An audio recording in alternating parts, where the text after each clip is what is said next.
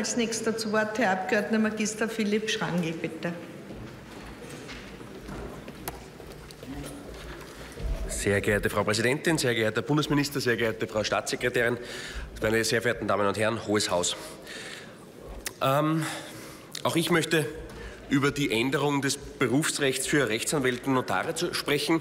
Vorerst einmal ist es gut, dass wir die Vereinbarkeit von Familie und Beruf ausbauen für Notariatskandidatinnen und Notariatskandidaten, dass die, ähm, dass weil es ist, muss, glaube ich, unser Ziel sein, erstens einmal die Menschen äh, die Möglichkeit zu geben, im Beruf zu bleiben, aber natürlich auch das mit einer Familie zu vereinbaren. Also vorerst einmal, vorweg einmal das gut.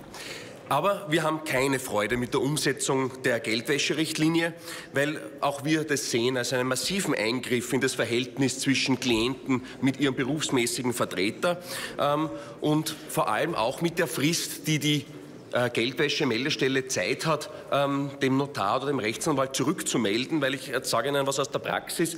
Ähm, wenn man heute einen Kaufvertrag abschließt, dann rufen relativ schnell die Klienten einmal an und der Käufer fragt, naja, wann werde ich denn endlich ins Grundbuch eingetragen und der Verkäufer fragt, naja, wann bekomme ich denn endlich das Geld? Und wir dürfen dann nicht sagen, ja, aber halt. Es gibt nur noch jemanden, der prüft. Und vor allem ist es auch ein bisschen unangenehm, dem zu erklären, dann quasi, warum so lange geprüft wird und warum da überhaupt geprüft wird, weil vielleicht, wie es der Kollege Jarolin zuerst fast richtig oder eigentlich richtig gesagt hat, der Notar und der Rechtsanwalt ein bisschen zum Spion gemacht wird.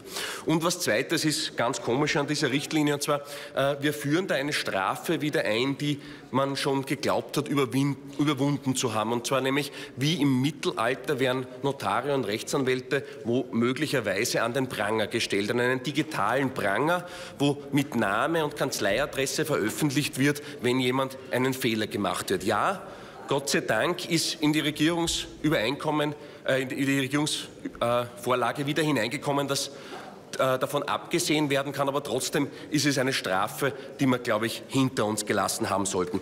Und es reicht nicht zu sagen, meine lieben Damen und Herren, dass das etwas ist, das aus Brüssel kommt und dass wir gerade das Mindestmaß um sich umsetzen haben müssen. Alles, was aus Brüssel kommt, beschließt dort irgendwer. Und dort sitzt auch, sitzen auch Vertreter des Bundesministeriums für Justiz dort, da sitzen auch Sie wahrscheinlich, der Herr Bundesminister, selbst dort im äh, zugehörigen Fachausschuss. Und da muss man schon mal sagen, dass man in Brüssel vielleicht ein bisschen besser aufpassen sollte, was dort beschlossen worden ist. Vielleicht dort gleich sein Veto einlegen soll oder sich dort Bündnispartner suchen, damit so etwas nicht mehr passieren kann.